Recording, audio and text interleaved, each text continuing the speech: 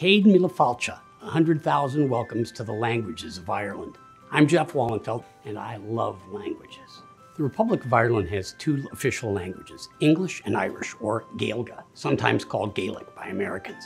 At one time, Irish was the dominant language of Ireland, but its use has dwindled over the past few centuries. Irish is required learning in Ireland's schools, but as of the latest census, only about 40% of the population identified as Irish speakers. Only a fraction of those people, less than 75,000, said they used Irish in their daily lives. There are efforts to preserve the Irish language, both in Ireland and abroad, and for good reason. Irish has a rich history and vocabulary that are fascinating to explore. And the Irish have left their mark on English, both in Ireland and abroad. How about when you think about Irish phrases? What comes to mind? If your first thought is top of the morning to you, I'm going to stop you right there. People in Ireland don't really say this. They did it one time, but the phrase has fallen out of use in Ireland. Now it's just an Irishism, a stereotype shorthand for Irishness.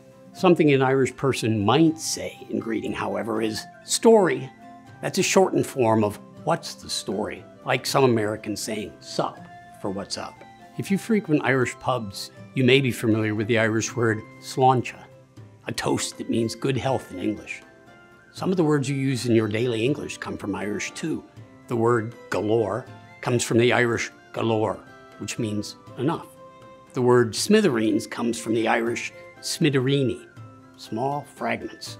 And whiskey, popular in both Ireland and neighboring Scotland, comes from a classical Gaelic word, a root shared in both languages, that's now uisce in Irish, which means water. You can draw your own conclusions about that. So now you know a bit more about Irish, English, and Irish English.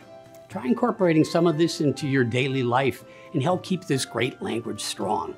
Slán.